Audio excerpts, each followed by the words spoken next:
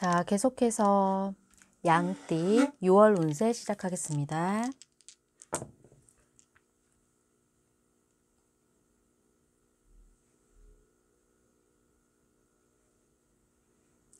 네, 산천대축 나왔습니다. 네, 양띠분들은 6월에 산천대축 초요라고 하는 괴사가, 괴사가 나왔고요. 산천대축은 어마어마한 힘이에요. 산 아래에 하늘이 있다. 그런 뜻이고, 음, 이게 초요면은 제일 아래에 있는 효거든요. 위에 있는 그 막혀 있는 흐름이 너무 크다고 해요. 그래서 내가 억지로 이 바위를 무너뜨리려고 하면은 이 산이 움직이지 않은 어떤 장애물인데 시간이 걸린다는 뜻하고 똑같습니다. 시간이 걸리기 때문에 본인의 힘만으로는 힘들어요. 그리고 산천대축은 일단 모은다는 거기 때문에 본인이 스펙을 쌓는 것도 해당이 되겠고요. 어떤 하늘에 좋은 것이 산으로 내려오니까 생명이 자랄 수가 있는 환경이 되는 거죠. 그래서 서두르지 마시고 이번 달에는 양띠분들 같은 경우에 기초부터 탄탄하게 올라가시면 되세요. 음, 사업도 마찬가지고 학업도 마찬가지세요. 어떤 어떤 회사를 목표로 두고 있고 그 회사에 들어가기 위해서 내가 스펙을 쌓는다. 그거 6월 달에 굉장히 좋은 흐름이고 이루어질 수 있는 부분입니다. 음, 그리고 어, 금전운은 말씀드리고 싶은 게 좀 큰 돈이 하나 들어올 게 있어요. 생각지 못했던 큰 돈이 들어오는데 이 돈을 관리를 잘 하셔야 됩니다. 관리를 잘 못할 수 있기 때문에 이 부분 강조를 해드리는 거고요. 어, 애정 부분에서 또 관심이 크시죠. 저희 양띠분들. 양띠분들 애정은 아, 예전하고 다릅니다. 아주 성실한 연애를 하실 수가 있고요. 그리고 문제는 내가 소극적으로 대하면 안 되고 그 사람의 반응을 봐서 적극적으로 좀 나서야 돼요. 그리고 이번 달 두통 조심하셔야 됩니다. 좀 자세한 거는 제가 주역 타로의 도움을 받겠습니다. 계속해서 양띠분들 주역 타로 카드로 흐름 보겠습니다.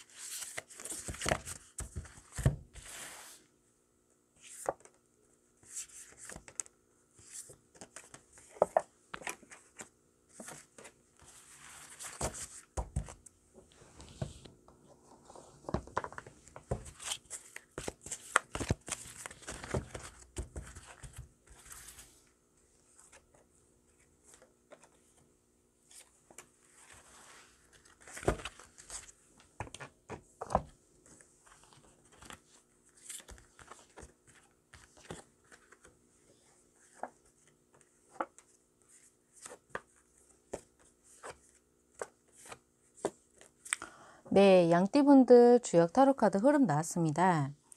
지금 선천대축의 효의 그 내용과 마찬가지로 괴 내용과 마찬가지로 계속 뭔가를 노력을 하시고 정진을 하셔야 되는 흐름으로 보이세요. 그리고 이 부분은 시간이 걸립니다. 화지진이라는 이 괴처럼 시간이 걸리고 어, 현재 바라보고 있는 목표나 사람에 대해서는 굉장히 잘 찝으신 거예요. 본인이 행복해질 수 있는 목표가 그 목표가 맞습니다. 가고자 하는 회사라던가 가고자 하는 어떤 대상 그리고 내가 이루고자 하는 사업 그리고 애정운으로 지금 갈구하고 있는 사람 그 부분에 대해서도 좀 잘 지켜보셔야 되겠지만 일단 방향성은 맞으세요. 음 그리고 주중에 6월 15일 근처에 깜짝한 깜짝 놀랄 만한 일이 있어요. 그 깜짝 놀랄 만한 일은 어떤 일이냐면 내가 결심한 어떤 액션이 있어요. 결심한 액션이 있고 그 결심했던 일에 대해서 본인이 물어 뜯어야 되는 상황이 있습니다. 부딪혀야 되는 일이 있다는 거죠. 아마 조직 생활을 하시는 분들이 이 운은 좀 크게 들어올 것 같고요. 그냥 참으시면 안 돼요. 어, 나는 싫어요. 나는 no예요. 이렇게 강하게 yes, no 중에서 no라고 말을 할 수가 있어야 되고요. 그리고 계속 뭔가 잘 안 되셨던 분들, 그분들은 6월 20일에서 22일 사이, 그러니까 하순경이죠. 요때 해결이 되실 수가 있으세요. 그동안 답답했던 상황들이 이때 풀리는 운이 들어오고요. 그리고 본인은 현재 보살펴주는 수호천사 중에서 가장 급이 높으신 분이 함께하고 있습니다.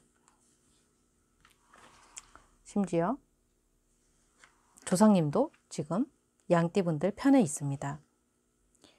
계속 장기적으로 풀리지 않았던 문제들일 거예요. 지금 고민하고 계셨던 문제들이 그래서 시간이 걸린다고 했는데 그동안 일단 흐름을 크게 두 가지를 말씀을 드리자면 안 풀렸던 일이 풀리는 흐름이 하나가 있고 그게 6월 하순경이고 어 또는 두 번째 건 어떤 거냐면 내가 또 두 번째로 노력을 해야 될 목표가 생겼다는 뜻이에요.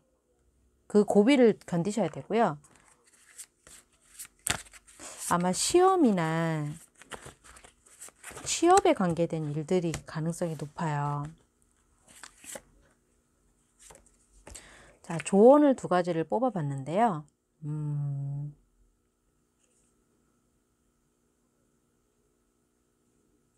네, 조언 카드에서도 역시 이번에는 이동운이 강하진 않아요. 양띠분들 모두 6월에는 이동을 하시는 것보다는 기존 조직에서 남아서 안에 있는 조직 문제들을 계속 부딪혀가면서 싸우셔야 됩니다. 그리고 현재 풀리지 않아서 뭐 재취업이 안 돼가지고 쉬고 계신 양띠분들이 계시다면은 재취업 활동 계속 하셔야 됩니다. 놓으시면 안 돼요. 6월에 기회 들어옵니다. 6월에 컨택 들어와서 고민을 할 수 있어요. 여기를 가야 될까? 저기를 가야 될까? 이런 부분 고민을 하실 수가 있고 아마 힘이 강한 곳으로 가실 거예요. 힘이 강한 곳으로 끌려가실 것 같은데 촉이 들어오는 곳으로 선택하시면 돼요. 그 부분은. 네, 양띠분들 힘내시고 6월에는 사랑도 일도 쟁취하시기 바랍니다. 여기까지 하겠습니다.